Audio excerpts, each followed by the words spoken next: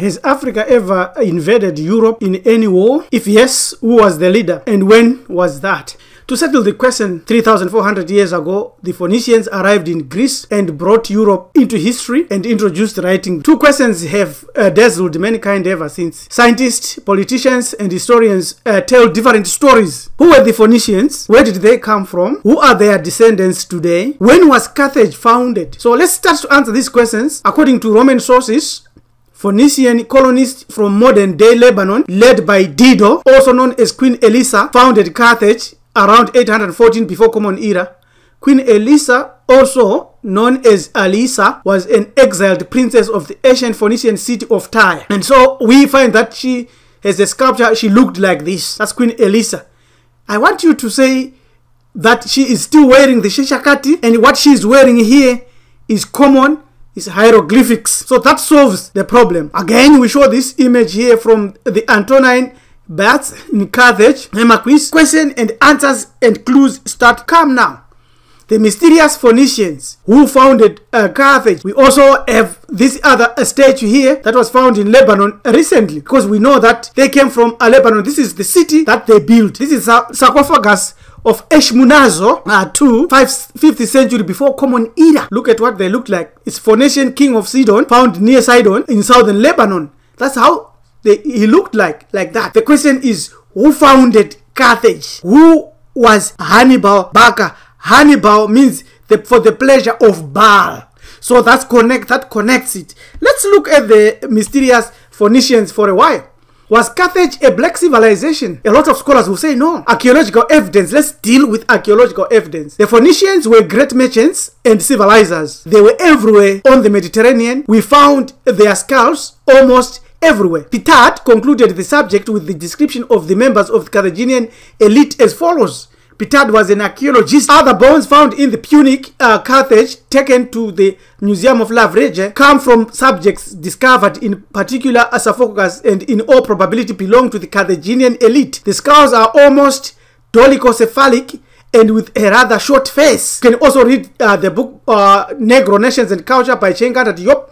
You can also visit this website, uh, liposayakama.org Carthage was a black civilization. We also have Stephen Gsell, 1864-1932, director of the Museum of Alga, said the following about Pedolon's work.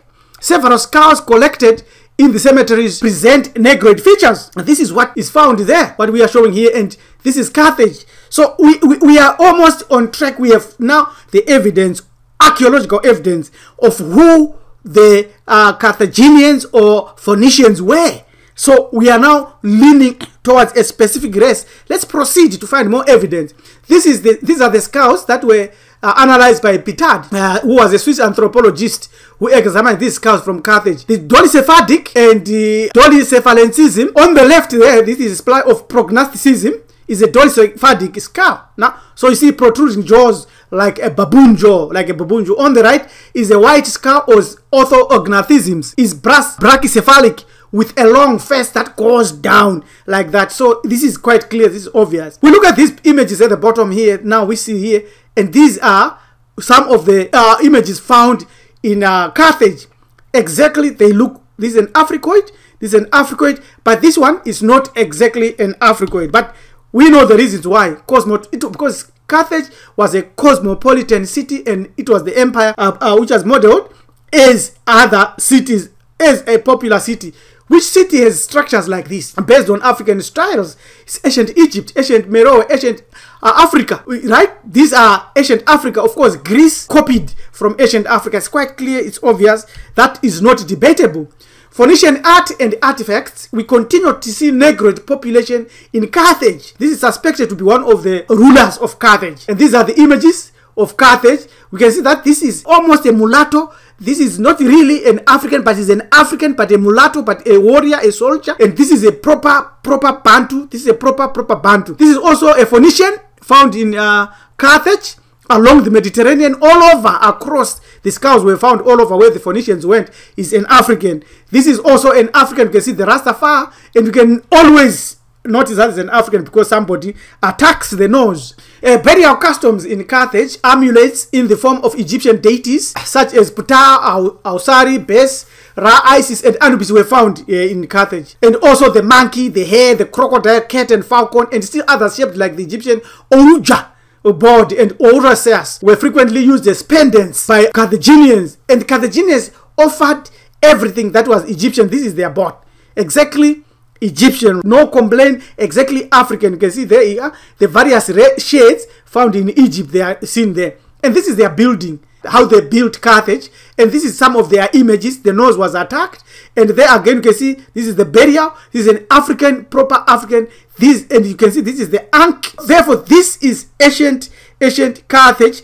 And it is showing the signs that it came from uh, Africa, Southern Africa. So where did the Phoenicians come from? Were the Phoenicians and Canaanites the ancestors of the Moors and yet Capsa and Africa as well? And were the ships of the Spanish Armada of Moorish origin? Yes, the answers should be obvious. Tracing the genealogy of the founders of Carthage and European civilizers takes them far into Africa. Here in Uganda, uh, Kenya, Democratic Republic of Congo, Rwanda, uh, Burundi, and Tanganyika so-called Tanzania today. This is the source of the Phoenicians where they came from. The Great Lakes and Southern Africa were born are the first men. From these first men came the ancient Egyptians and migrated along the Nile. From the ancient Egyptians came the Canaanites who dominated ancient uh, Northeast Africa, who were the first inhabitants of Northeast Africa in Syria, Lebanon, Israel, Palestine, Jordan, all the countries. There was no Middle East then. From the Canaanites came the Phoenicians, and from the Phoenicians came the Carthaginians, uh, Tunisia.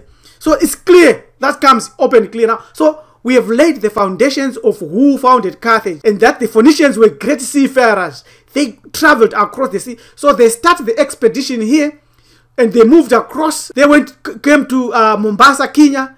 They were in Dar es Salaam in Tanzania. They were in Sofala, Beira, and went to Zimbabwe.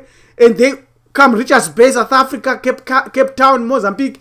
Went to Ghana, Tema, moved across Gibraltar, right into uh, United Kingdom, uh, Gaul, Spain, Italy, back to Tunisia, right back to Alexandria and back. That's what they, they're using this ship. We have now qualified with their travel. They traveled all over. They were in Africa. So there is no debate about where they came from, who they were. It's quite clear. So we now want to look at the general who founded uh, kingdom. So it, they introduced writing. The source of Phoenician and Western alphabet is Nubia. Nubian hieroglyphics or Egyptian hieroglyphics if you want, which we see here in these pictograms. And uh, it is quite clear that they introduced writing and they civilized Europe that way. So you can see here that the Kemetic alphabet is the first and original alphabet. Give you a, a, a, some of them here. So pictograms originally originated in Africa. And then the Phoenician started to craft them. And then the Greek in 600 BCE also adopted them. In 114, the Roman modified them from modified from the Greek. The Phoenicians are the ones that transmitted them because they were travelers. We also see that the African alphabet also gave this so-called Hebrew alphabet, Aleph, Beth, Gimel, African alphabet. So it's clear. So the Phoenicians also architecture had a picture and a symbol and a signature of their architecture, which we are showing here in southern Africa. You see what they had this chevron? These are the Phoenicians and they loved this bed, right? The two beds. And there's this African hand. You can see the African fingers are straight like a pyramid, like a pyramid. So that's the African hand, straight like a pyramid, like that. And this is the bed, Zimbabwe bed. And this is the Horesu. And this is the chevron that you find along uh, Great Zimbabwe War as a signature for the Phoenicians. So they were also Africans. And this is their alphabet. And this is found in Tunis. And this is their symbol. And this is the snake, right? Is the snake and also all these are the the Jed. So it's quite clear that Great Zimbabwe had a lot of Phoenician impact. Even the Zimbabwe bed, we were all Egyptian, we were all black people. We civilized the whole of Africa, the Middle East, and Europe. This is clear. It has been justified here and proved. So associated with Carthage were other uh, cities like uh, empires like Numidia, and the Punic, Punic is, is for Phoenician, right? The Punic, the first, the second, and the third, those were wars. Tunisia is Carthage. This is the Mediterranean, and these are the cities that are found there. The cities of uh, uh, Tunisia, Karub, Clyfen, uh, Tunis, Saiguti, Zaigunia, and Sika, Zama, right? Zama, not Zama. Zama is actually Africa. Sisara or Sasara and Vanga or Vanga or Tabrara or Tabulala. Right? These are African cities, African names. So Roman Carthage at the beginning of the Second Punic War. This is Numidia. This is Mauritania. Mauritania and Spain. So we conquered and ruled Spain there were mixed populations, uh, Carthage, and uh, there were Europeans too. So this is a Phoenician bust uh, from the Phoenician period in Spain. You can see that is in Spain. Tradition is it that the Phoenicians founded the city of Gadira or Cadiz, which is Kadi Gadira Dira Po in southwestern and 1100 uh, common era they were africans. These are africans. These are phoenicians. They are africans pure straightforward. Although the carthaginians were mixed population the carthaginian military was dominated by numidians which was a mixture of black africans nubians and berber extracts who lived among the Carthaginians and who were prevalent in Egypt, in Morocco, in Algeria, and everywhere along uh, the Mediterranean. The Baraka family originated uh, from the celebrated Numidian warriors. So it's Baraka, right? The Phoenician, Carthaginian, Numidians, Punic in North Africa were cosmopolitan. However, the majority of the Punic populace seems to have had African and Negroid ancestry. Whether described as Carthaginians, Phoenicians, or Punics of North Africa, they were Africans because they were in Africa and they have images of Africa. So let's look at other perspectives that is being pushed forward. Could this be the image of Hannibal? 218 before Common Era, Hannibal marched through the Pyrenees towards Gaul, southern France, with more than 100,000 troops and nearly 40 war elephants. He met with little resistance from local forces allied to Rome is it possible that if he was of European race, he was able to ride elephants and use elephants in war? Impossible. Who else in history or in Africa used the elephant for war? Has there ever been any European after or before? None, zilch, zero. So elephant fighting is purely a Negroid uh, historical proof. And there they are, the Queen Candace, Empress of Ethiopia, and General Chief of its armies waiting for Alexander the Greek to cross the new borderline at the first cataract. Alexander, having conquered e e Egypt, was scared to the bone and he ran away because he knew that they were great warriors. So this is our tradition. This is not a Hannibal at all. He is a fake. General Hannibal finally shows us his face. Who don't you give all you could to see the face of one of the legendary African generals who defeated Europe? Here he is after years of digging through books. Others who doubt, we don't care. There he is. There is Hannibal. You can see from the Roman coin, this is how he looked like. Was Hannibal an African? The answer and proof is obvious. Hannibal Baraka was of Nubian descent. Nubian horsemanship and animal breeding and cavalry tactics eventually contributed to later developments in Roman cavalry. Carthage was founded by the Phoenicians from Tyre who were Africans, who were black people who looked like this. This is a pharaoh. This is Hannibal. He probably looked like that. How do we know that this is Hannibal? His actual name is Chenu Bechola Baraka. They call him Hannibal today, right? He looked like that. Hannibal was a, as black as his people. Yes, Africa invaded and defeated Europe in Italy. This coinage is proof. It was probably cast around 217 before Common Era. It was founded near Lake Trasimeno in Italy, the year and place of a major victory of Hannibal against the Roman Empire. So we have proved and we have answered who Hannibal was. In, in conclusion, therefore, what we have to do and what we have to learn is to absorb the trading tactics and the mercantilism of the our ancient ancestors, the Phoenicians. The Phoenicians were the trading arm of ancient Africa as artisans, as merchants, as seafarers. They perfected networking. We must adopt this approach and this attitude. This is the ancient Phoenician proper, and this is Baal or Mari. When you say Mari, it's Bali. Mari. This is the person that you're talking about. So it's in Zimbabwe. This is our culture. Their religion was African.